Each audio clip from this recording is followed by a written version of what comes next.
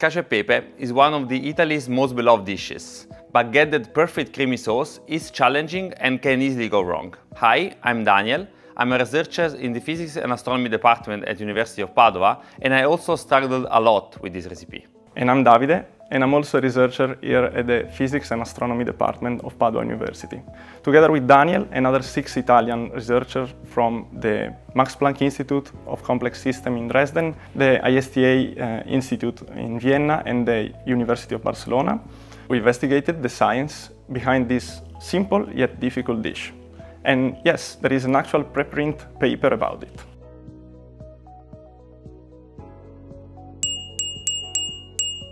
We all met in Germany a while ago while working at the Max Planck Institute for Physics of Complex Systems in Dresden.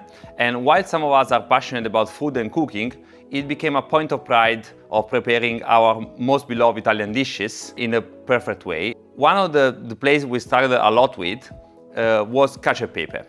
And we actually failed several times in trying to prepare this dish. And that's why we decided to investigate the role of all these ingredients to create a perfect sauce.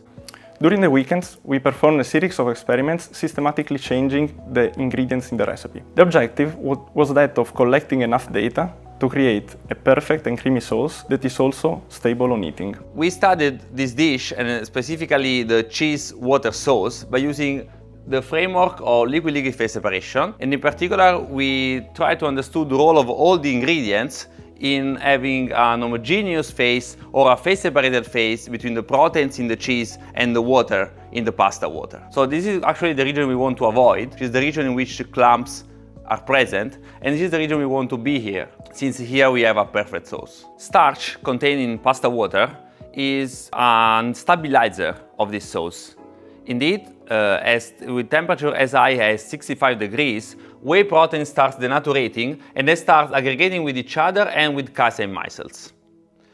This aggregation creates clumps in our sauce and eventually we are doomed to the mozzarella phase we don't have enough starch. Let's dive in in our scientifically grounded recipe of cacio e pepe.